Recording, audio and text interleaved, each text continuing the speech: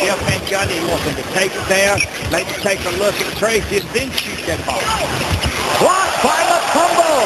Pass quick the other way to Mike James, and he'll lay it up and in. LeBron James meet Dikembe Mutombo. What a play. Timeout Cleveland.